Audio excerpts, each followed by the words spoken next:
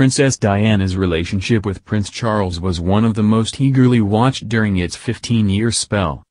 The pair married in 1981 which began a relationship which at times, had the main focuses of the media in the UK. Following rumors of infidelity within the marriage, Charles and Diana divorced in 1996. Just a year later, Diana died in a car crash in Paris.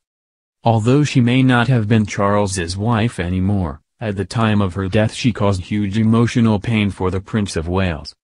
Writing in her book, The Queen and the, The Untold Story, Ingrid Seward spoke of how upon hearing of her death, the once composed Charles finally broke down.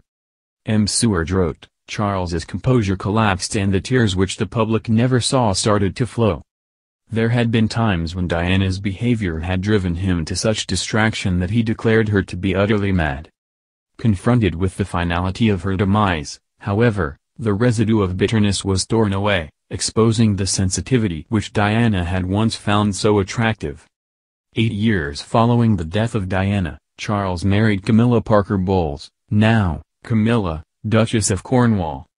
Although Camilla married Charles, one biographer has revealed that she never sought to replace his ex-wife at any point.